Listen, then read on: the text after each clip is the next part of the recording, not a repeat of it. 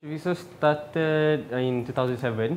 We started uh, doing music videos, and we finally found that you know doing music videos is pretty fun.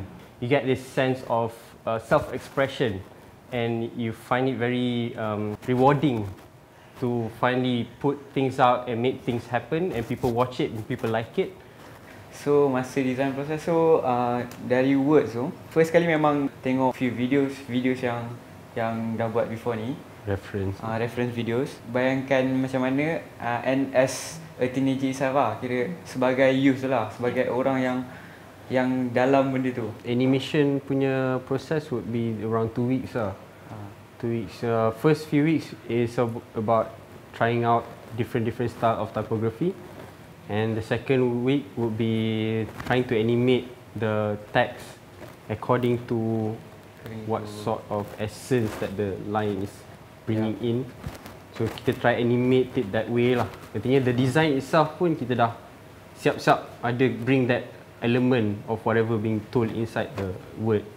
So apa-apa design element is actually bukan eye candy semata-mata but it tells a story. It's good that DG is doing this, finding these talents and bring it up Expose and expose themselves. So I think it's a good platform for us as well to join in the the the whole movement. Overall kita orang uh, puas hati, rasa macam um, kita tak pernah buat benda ni as guerrilla as this lah. Sebelum ni kita orang style takut-takut kan.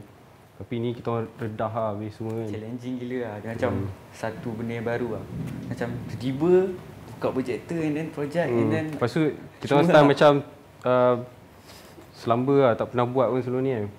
Buat je lah, boleh buat, boleh buat, buat jalan.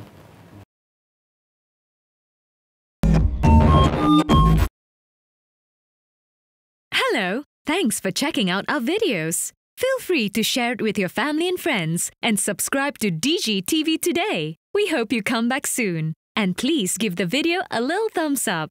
Thanks.